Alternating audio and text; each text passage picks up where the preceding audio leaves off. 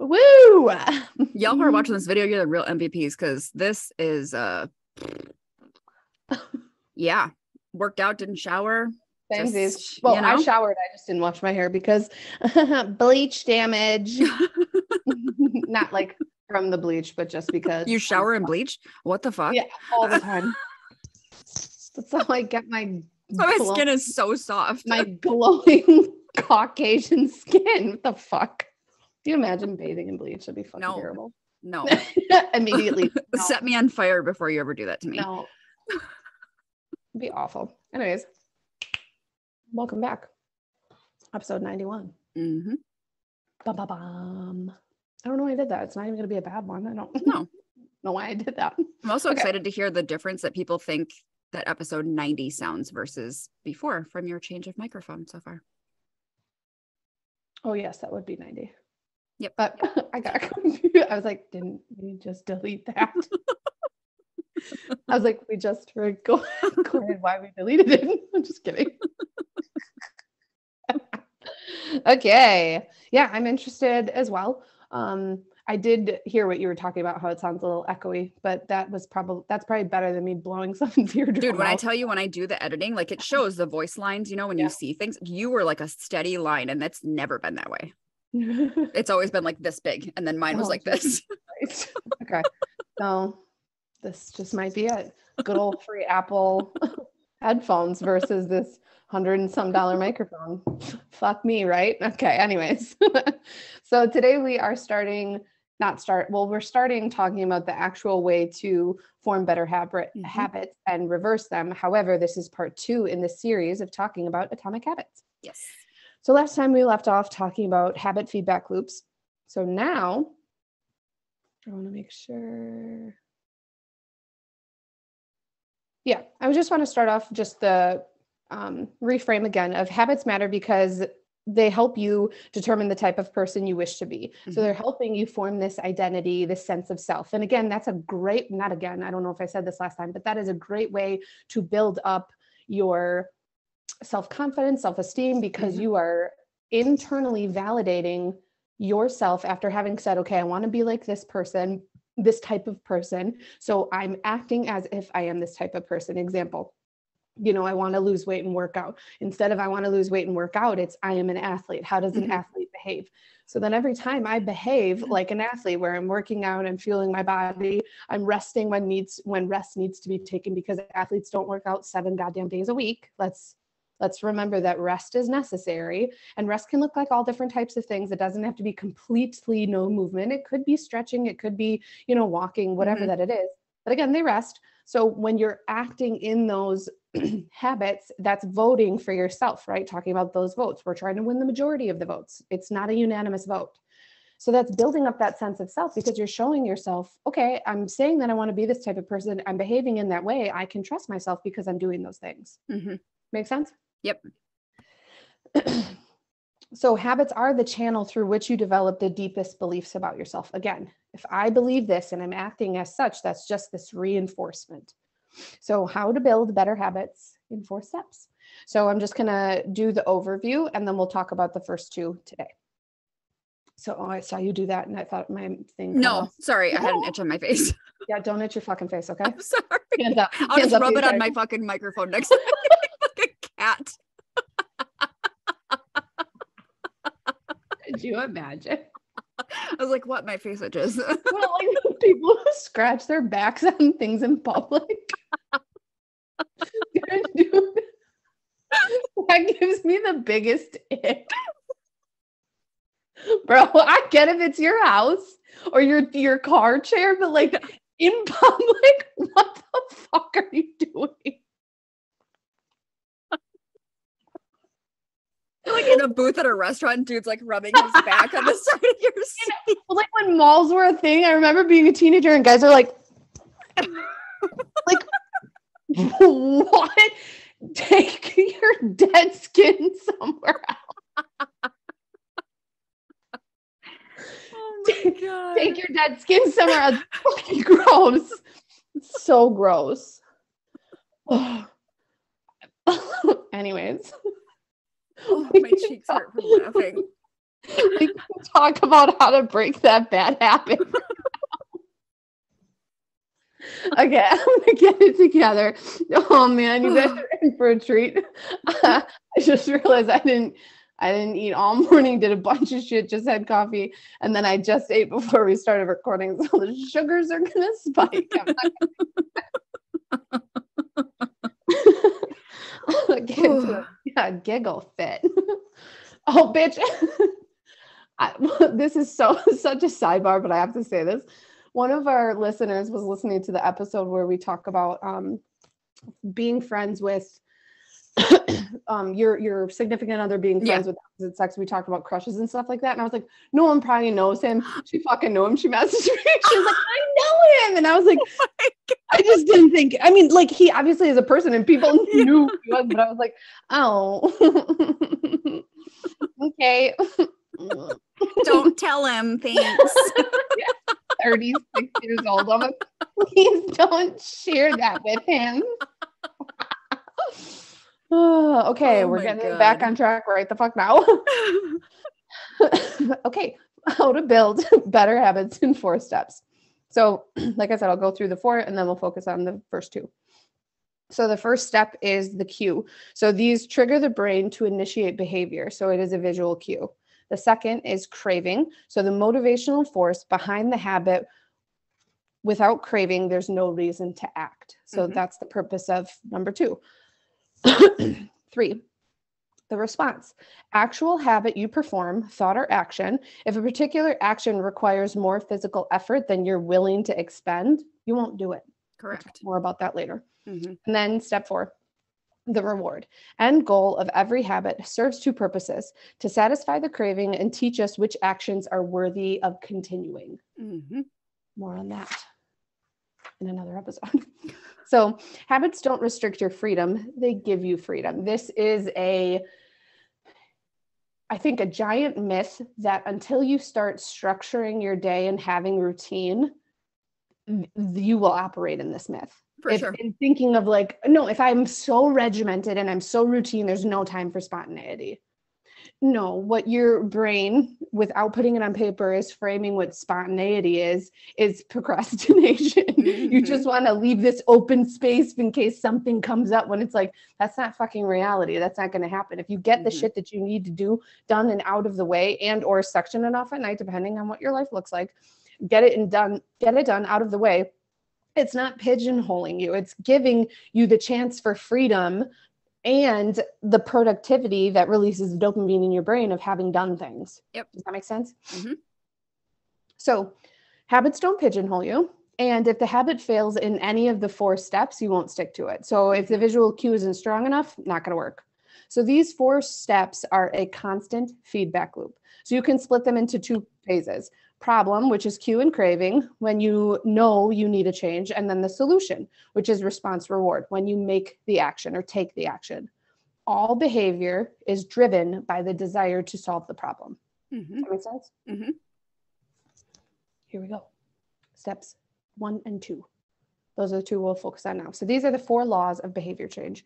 First two, the cue and the craving. So first, the cue. His his um, little like um, phrase for this is make it obvious. So in order to start building a better habit, you need to make it obvious. It needs to be visual so that your brain sees it and wants to act on it. Mhm. so this is pointing and calling out the behavior and it raises the level of awareness so it makes the unconscious conscious does that make sense Yes. so this is where he's asking you to do a habit scorecard so we talked about this a little bit in the last episode so he talks about making a list of your daily habits examples like waking up checking phone shutting off alarm going to the bathroom and then identify if those habits are good bad or neutral. So put a plus a minus or an equal sign next to it. You can get a, a score a scorecard template at atomichabits.com slash scorecard so it's all about the long term in this situation. Does this behavior reflect who i want to be? So we have to observe first. This is the same thing of talking about being mindful and challenging cognitive errors. You need to be aware that you're doing the cognitive errors Mhm. before you can start challenging them. Goes back to walking the middle path. I'm positive we've talked about that either on a PS episode or actually talked about it in an episode. Walking the middle path as a DBT skill. This balance between acceptance and change. You first must accept something before you can change it. You have to Mhm. be aware of it before you can change it. Yep. Does that make sense? Mhm. So we observe first and then we speak out loud. So, example, if you are seeing that they're, wait, I want to make sure that's not going into the flip.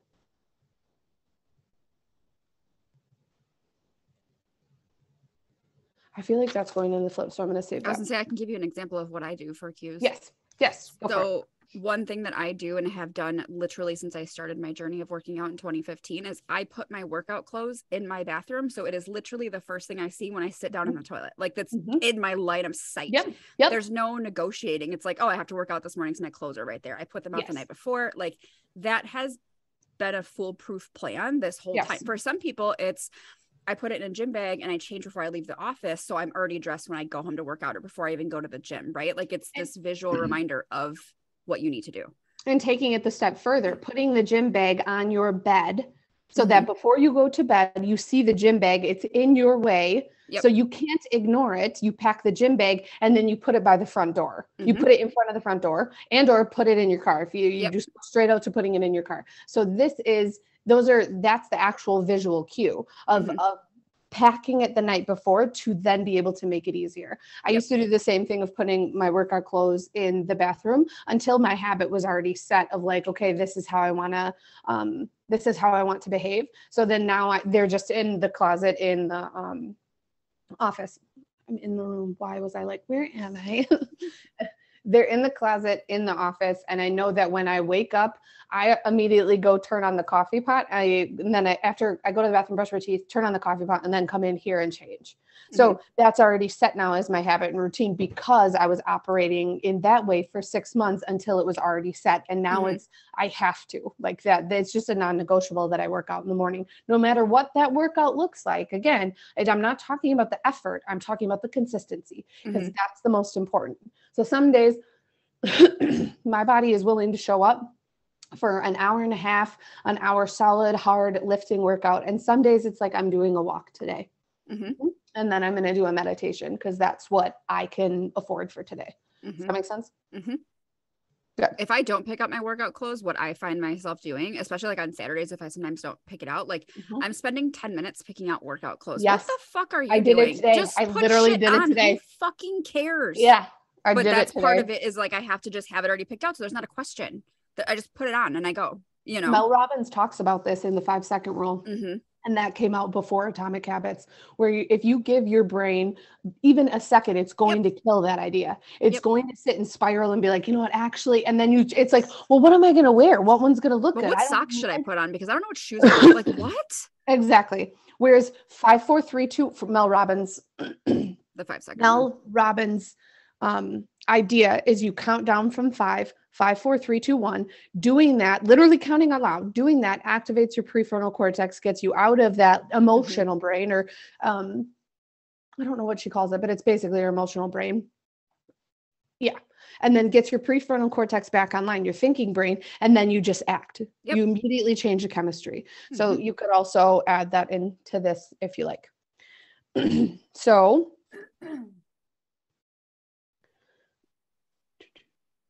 I guess uh, I guess what he's saying when he says observe first, like speak it out loud. So again, like um, I don't know, why I keep saying so again. So I think the example was is that uh, there's cookies. Um, there was cookies on the counter or in a cookie jar, and so he would speak hit the the um, action out loud of like example i'm going to eat a cookie and i don't need it his words not mine so Mhm. i'm going to eat a cookie and i don't need it so that we're verbally saying these things out loud because if our our goal is to if the goal because again he talks a lot about um if you didn't listen to the first episode in this series this book surrounds breaking down negative habits like smoking overeating things like that and building better ones of like working out and blah blah blah. So that's what this will be heavily focused on. You could literally use it for anything. So please know that we're not just solely focusing on eating and working out. Just the easiest for examples. So he talks about observe first, like again, be mindful. You start to learn that you're doing these things. Mhm. And like example, I'm going to eat a cookie and I don't need it. So he was talking, I think in the book, he had already eaten dinner and like he he was full, he wasn't hungry, it wasn't any of these things. It was just like, oh, I saw a cookie and I'm going to eat it now. Mhm. Um, so the two most obvious cues are time and location, he says. So an implementation intention is we are increasing the probability of you actually forming the habit. This is what we're talking about of making it obvious. Steph putting her clothes in the bathroom to be able to visually see them is an implementation intention. I am intentionally implementing this new step in my routine because the visual cue will then trigger me to act and put the clothes on after I'm done going to the bathroom in the Yep. morning. Does that make sense? Mhm. So he says for an implementation intention, it's I will behavior at time in location. Does that make sense? hmm So I will, well, for me, since I put them out the night before, but I will put my clothes out at night before I go to bed in the bathroom. Mm-hmm. Mm-hmm. And also, or you could like flip it in the sense of um I will put my clothes Yeah. on. Yeah. No, no, no, no, no. Exactly what you said. Sorry. Should have probably probably reviewed this first. So exactly what you said. I will set my clothes out at 9 p.m. before I go to bed in my bathroom. So then what we were going to do is habit stack. So it's a simple plan to overhaul your habits. The best way to add a new habit is to pay attention to your current ones and then add it. So after I go to the bathroom in the morning, I will get dressed in my workout clothes. hmm So the habit is already there, whether you view it as a habit or not. That's how you we have to switch the thinking of going to the bathroom in the morning is a habit. You do Mhm. that every morning. So that that is a, a current habit that you know that you're going to do. That's not breaking away from anything. So after I go to the bathroom, I will put on my new clothes. So we're tying we're tying the desired behavior to something you already do. The benefit, you will always then have a game plan. There will Mhm. always be this next step already figured out for you. You're creating a non-negotiable routine. Mm-hmm. Stack with a cue that matches how much you want to do a new habit. So he broke it down in this chart of habits you do daily, all of the things that just happen to you.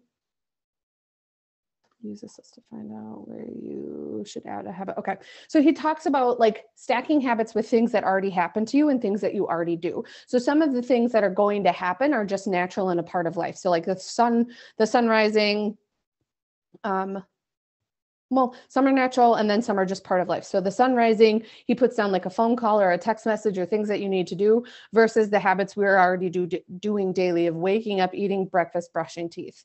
So he has on his website a way to help. If you don't know where to start stacking things and don't know where to start adding in new habits you can go to atomichabits.com slash habit stacking. He has examples on there that can help walk you through of what you need to do. Again i think that when you are doing the habit tracker and writing everything down if we are liking the positive habits that we have on there and they're things that are really solidified already that is where i would try to start stacking the new habits. Hmm does that make sense? Hmm because those things are set. There's no changing it. Okay. So still in continuing with this this first step. Yeah still in continuing with this first step. Your environment matters than your mo- matters more than your motivation so every habit is context dependent. The most powerful sensory receptor is sight. Visual cues are the catalyst to our behavior. So how to design your environment to success. Creating obvious visual cues. Again what we've talked about. Taking my w- workout clothes putting them in the bathroom. So when i wake up and go to the bathroom it's the first thing i see. Medications vitamins what are these things that you need to do? So you take that visual cue and put it somewhere where you know that you're going to be. So for example if you take um, medications and or vitamins at night and you have the seven day organizer that should be on the nightstand. That should be right there in the nightstand and if you don't have a habit of having water with you all the time, scatter water throughout your house. He talks about that until the habit is set of if you want to drink more water, scatter scatter water throughout the house so that it's not this thought process of it's too hard. I'm not Oh, going I have to get water. up and get water Yeah, now. I'm not doing it. Right. So sc- scatter some water bottles throughout your house until we get into the habit, the ritual of drinking more water. So then that way, okay, I always have a water bottle by my bed and my seven day pill organizer is by my bedside. That make sense? I Mhm. see the visual cue of my pill organizer. I remember to take my nighttime pills. Mine are on the counter in the kitchen where I pack his lunch every morning. So Mine are in a green seven day organizer that is all, and it's like bright green, and it's always in my work bag. And then I, that is one of part of the things of when I take my laptop out of my bag and put it on its stand at work. I take my pill organizer, I open the day that it is, dump them, and I put them on my little pill dish that's on top of my desk. So that's when I'm doing sessions or whatever, it's a visual reminder because I'm always coming back to my desk. It's a mhm. visual reminder that I see those pills there and I just grab one and take it, whatever vitamin that it is. Does that make sense? Yep. When I need to refill my seven day organizer, I go and put my green seven day organizer right on top of my counter that is in front of the drawers that all of my vitamins are in. Yeah. So that it's the visual cue of I need to refill that. Mhm. That makes sense? Mhm. And I stack that with the habit of already coming home and putting my things away. So when I, pill come home, organizers too, and if I need to refill a prescription and I don't put the bottles back in the jar where I keep all my other ones, I leave them on the counter so I know, oh fuck, I have to refill that. Mhm. It all sounds simple, you guys, but this is like methodical stuff that we've done for a very long time. So they're just Mhm. ingrained habits at this point, but it takes work to get there. Absolutely. It's consistency. It's not Yes. effort, it's consistency. If you do all of the habits in one day, your brain and body are going to feel spent. Start with something small. Again, we'll, we'll, we'll get to it as we go, but start with something small. That is, again, if the effort exceeds the amount of, um, or if the, what did he say?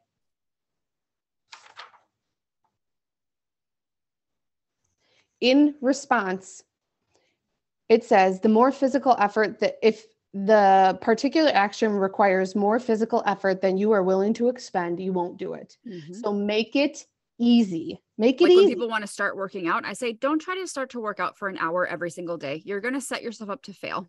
Two Let's start with two days a week, maybe, and not for an hour. Do something that you think is feasible. That doesn't mean that you're failing because you're comparing yourself to the fucking fitness influencer on Instagram. It means that you're trying and what works best for you. Mm-hmm, mm-hmm. And it's if you want something more consistent, okay, 10 minutes a day.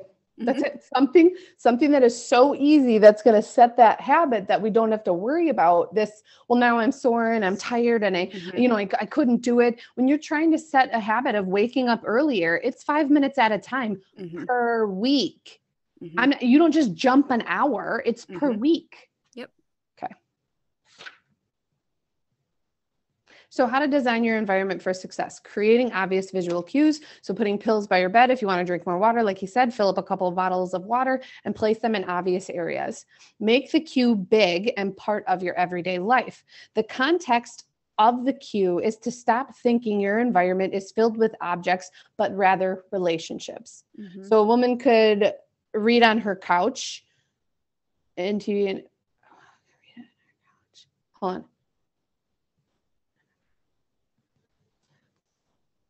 I don't I don't know what I meant by that example, so never mind. I'm not even gonna go there. Because it says it says woman could read on her couch, guy could watch TV and eat ice cream on his couch. I guess it's the difference in what you're using What you're tying to the environment for, what couch, you're right? Yeah, Like, what you're tying to Am I couch. doing something useful or am I doing something that's ineffective? Yeah, yes. Because sometimes you need to start new habits in new environments. Sure.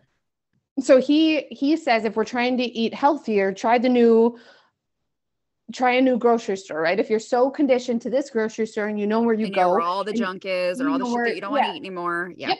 go to a new grocery store and figure out, okay, I have my list, I have my things, go around, get your stuff and get out. Mhm. And also he talks about um so sometimes people have houses and sometimes people have, you know, 300 square foot studio one Mhm. bedroom apartments or not even a bedroom apartment, just a studio apartment. So he talks about using one space for one thing. So my bed is for sleeping, my Yes. desk is for doing Do my work from your bed. Mhm. My desk is for doing my work. My um, coffee table is for is for eating, or what you know. What my Mhm. TV tray is for eating. Whatever, whatever that it is. Just one space, one use. Okay.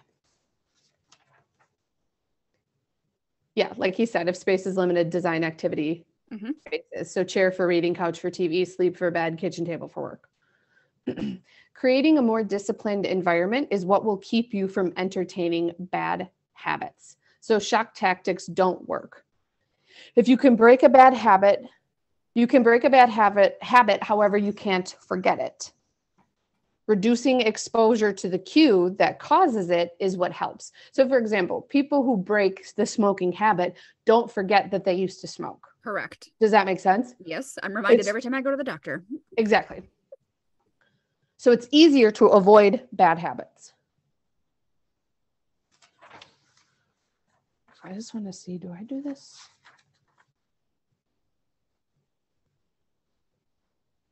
Okay.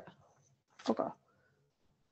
So the flip, well, I'll do the summary of the first law and some steps. So do the scorecard, figure out what your habits are, then an implementation application. So I will, again, I will behavior at time in location and stack it to a habit. So the habit stacking is after current habit, I will new habit. Design your environment to work for you. Rearrange things if you need to, one space, one use. And then if we are attempting to break down negative habits, instead of making it visible, right? The easier it is making it visible, that Mhm. visual cue, we're going to do it or potentially act on it. If we're trying to reverse that step, you need to make it invisible. Yep. So what does that look like? Invisible means review cue, remove cues for bad habits. So if when you if you're a smoker for example and you have your pack of cigarettes and your lighter and when you come in you put them on the counter, put them somewhere else. Put them in your pocket, put them in your work bag, leave them in your car, put your lighter in a different place. Mhm. So start to make it difficult to be able to do this. Make it inconvenient because you're not going to want to do it. If Mhm. I if I want to stop drinking, I don't have booze in the house. I have to go out and get it. I'm not going to want to go out and get it. Yeah, I'm not fucking doing that. Yep. No. Okay. You can find, I think the the summary of the first law steps you can find at atomichabits.com slash cheat cheat sheet. Okay. This might be a longer episode. I was going gonna- say, I don't know. you- You're not going to get done with step two in three minutes. So Oh, there is no way. so, but I'm gonna do my best. Okay. And all that laughing that we did. Step two or law two, make it attractive. So the craving, make it attractive to you. Mhm. So dopamine driven feedback loop. So the anticipation of a reward is what causes us to react. So when dopamine rises, so does motivation to react. I just don't feel motivated because you Mhm. don't have a dopamine driven feedback loop. So cravings activate 100% of reward. I don't know what that says. Craving activates 100% of reward, whereas achieving only activates 10%. So that makes sense. Okay. So the the anticipation of potentially getting a, rewar- a reward is releasing the dopamine versus mm-hmm. Actually getting it or actually achieving is only giving us 10%. I used to re- reward myself with Fabletics when I was st- first starting to work out. Of like, if I do all of my workouts for X amount of days, like I'll allow myself to buy myself a piece of workout clothing. and the driving factor that could- kept you for, to continue to show up is like oh my gosh the possibility of Yep. new clothes versus when you're actually getting it it's like okay this is exciting but it's mm-hmm. like oh man what could i get Yep. okay so desire is the engine that drives the behavior so temptation bundling to make habits more attractive is where we're going so you're more likely to find a behavior attractive if you get to do a favorite thing at the same time so, more probable behaviors will encourage less probable behaviors. So, how to use temptation bundling with habit stacking. After current habit, I will habit I need. After habit I need, I will habit I want. Does that make sense? Mhm. So, for example, after I go to the bathroom, I will put on my clothes. After I work out, I will eat breakfast. Mhm. Does that make sense? Mhm. It is important, again, to go back to one and do the habit scorecard so you can see the habits that are already there that are positive habits to you. Mhm. We're not reinventing the wheel in the habit I want. The habit you want is to eat breakfast. Mhm. Does that make sense? hmm I even do that with like chores on weekends, right? Like Mm-hmm. after I do the dishes, I like I stack it like that in terms of, and the end result is like, then I can finish reading this book or then I Yeah. can finish watching this episode. Yeah. so habits that are normal in your social circle become more attractive. So everyone wants to belong, and behaviors are attractive when they help you fit in. So we initiate the habits of three groups the close, the many, and the powerful. So the close are we pick up the habits of those around us. So study done over 32 years found if you have an obese friend, your chances of becoming obese went up 57%. That is a direct quote from his book. Again, First of all, not who the a- fuck's doing a study over 32 years? 32 years. But again, you have to show the longevity of people gaining Jesus weight. H Christ. Wild. Yeah.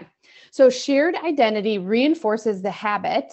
We share we are athletes, so group fitness. That's the example of that. So it's talking about who are you surrounding yourself with. Again what you feed yourself is visually is people around you is you know what you're reading what you're studying what you're working on. All of those things feed into this sense of identity and sense of self and Mhm. we have to be extremely diligent about that because it's sure you can f- surround yourself with a bunch of negative people but you're working double time to continue the the positive habits of or the habit of thinking positively or n- even just neutral of thinking neutrally because you're surrounded by a constant reinforcement of like this sucks everything's terrible. Mhm. case in point when steph and i worked in the behavioral health hospital I thought you were going to say case in point when Steph was really depressed and she was an asshole all the time.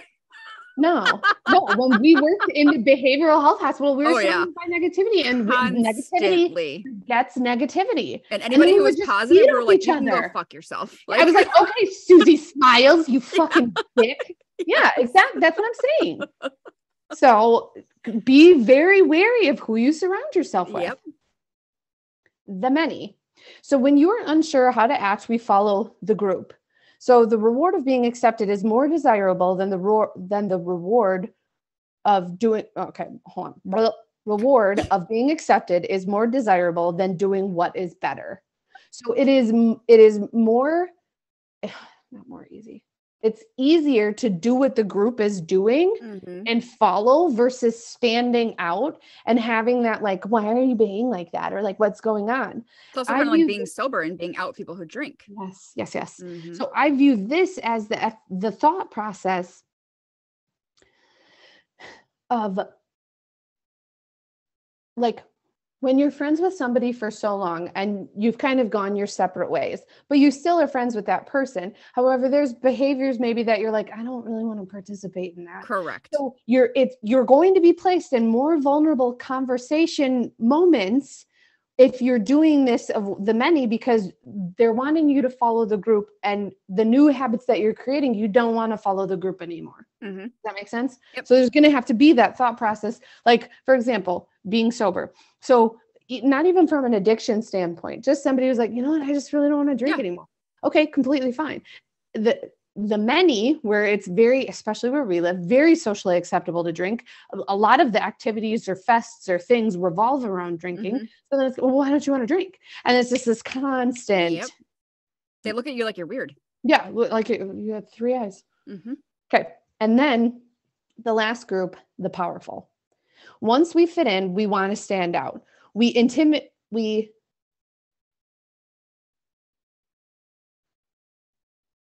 what is the word i'm looking for it's not Intentionally. no I don't know what you're trying when you say. copy someone when you copy what somebody's doing Imitate. Yes. Oh, that is what that word. My handwriting is so bad in here. We imitate. I was like, Mara, you did not spell that word right.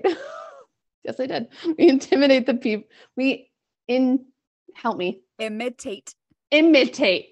I keep wanting to say intimidate. Intimidate. Imitate. not even a word anymore. the people we envy. So, a h- if a habit can get, if a habit can get us approval and praise, we find it attractive. We're also motivated to avoid behaviors that lower our status. Um, i.e., we'll mow our lawn because we don't want to be considered a slob, especially if you live in an area that has like HOA Mhm. policies or fees or something where everyone's like, this to me speaks to my brother in law. Not that he thinks that he's going to be a slob, but like, it's that like, well, they're mowing their lawn, so now I have to go mow my lawn again. And it's like Mhm. sometimes in the summer he's out there like th- three every three days, and I'm like, life No. is just revolving around mowing this Mhm. lawn. It's a no for me. So, when we're thinking about imitating the habits of these three groups the close, the many, the powerful we need to be very cognizant of what groups we're placing ourselves in, surrounding ourselves with, and wanting to be like. Yep. Because this can go real negatively if we're like even for example the powerful. So we we continue the behavior that gets reward and praise. So if Mhm. for some reason we're sassy as hell to someone and rude and whatever and someone's like yes girl. You stood up for yourself. No you were just being a dick. Like there's plenty of ways to be assertive versus being an asshole. Then it's like you'd continue to behave like an asshole because people liked it. But Mhm. th- that feel good? No. So a craving is a specific manifestation of a deeper underlying motive. So it latches onto underlying motives. Habits are modern day solutions to ancient desires. So this is where he talks a little bit about um, things that are predispositioned in our brain because of evolution. Yeah. Kind of like the one episode that we talk about um, with Kara Loewentheil of Unfuck Your Brain, Mhm. the um, ghost patterns of Mhm. fixation and anxiety. I love that episode because it just brings another another layer of understanding to why we do what we do. Yep. So, life is predictive, not reactive. I think that's what that word says. So, how to make habits that are how to make habits that are hard. Oh. So he talks about how to do things that are hard. So his phrasing, one of them is, is you don't have to do something, you get to. So removing this thought process of, well, I have to work out. No, no, no, Mhm. you get to work out. Well, I have to eat healthy. I get to fuel my body. I um I have to run this race on Saturday. I get to run this race on Saturday. Uh, th- these things, like Steph said, it's not rocket science. These things are not like life changing, groundbreaking new things. You have to understand the importance of the way that you speak to yourself, the things that you write down, like that, that what is feeding into who you think you are or who you want to be. Like those things are so important. If you continue to speak to yourself that way, that's how your unconscious brain internalizes it, solidifies it, and then spits it out as a belief. Yep. Does that make sense? Yep. Jess Sims, one of the Peloton instructors, every single fucking workout, she says, You don't get to do something, or you don't have to do something, you get to do something. She is, it is a constant reminder. So again, instead of saying I have to save money, it's it, it's that you're increasing your spending power for the month by saving money this month. Mhm. Does that make sense? Mhm.